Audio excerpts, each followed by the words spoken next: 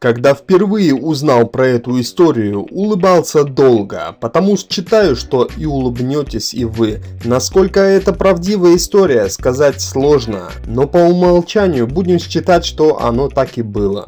Во время Советско-финской войны, победоносной для Советского Союза, на передовую приехал журналист одной военной газеты, дабы запечатлить в веках успехи РКК. Они были, безусловно были. Кстати, после этой войны СССР объявит агрессором, чувствуйте аналогию, и исключат из Лиги наций, поскольку Союз отожмет у финнов 11% территории. И вот очередной бой между РКК и финской армией. Полки схлестнулись в схватке, которая закончилась непривычно быстро, почти моментально. После сражения репортер с рвением опрашивает участников баталии. Строчит репортаж, добавляет свои впечатления. Статья для газеты готова и естественно отправлена в редакцию. К очередному выпуску она уже должна была появиться. Главное сочное громкое название.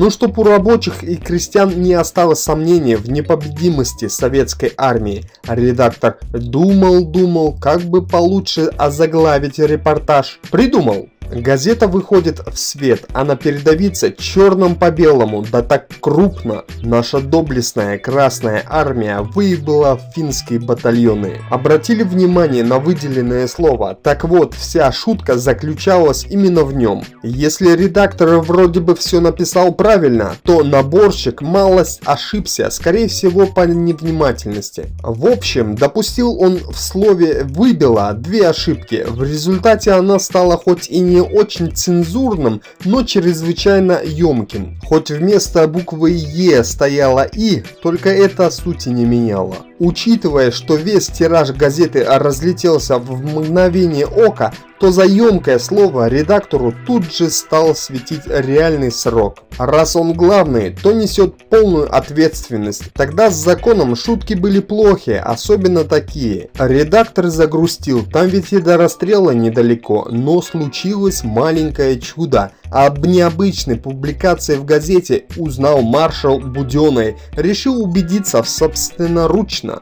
Когда его очам предстало название статьи, он, говорят, многозначно хмыкнул и сказал «Заголовок сильный, боевой, хороший, только сдается мне, что это слово должно писаться все-таки через букву «Е». Прочитав статью Буденный, убедился, что в названии соответствует сути написанного, потому и с легкой руки маршала редактора простили. Вот такая вот забавная история, если где-то и приукрасил, то самую малость. Понравилось? Ставьте лайки, подписывайтесь. Ставьте лайки.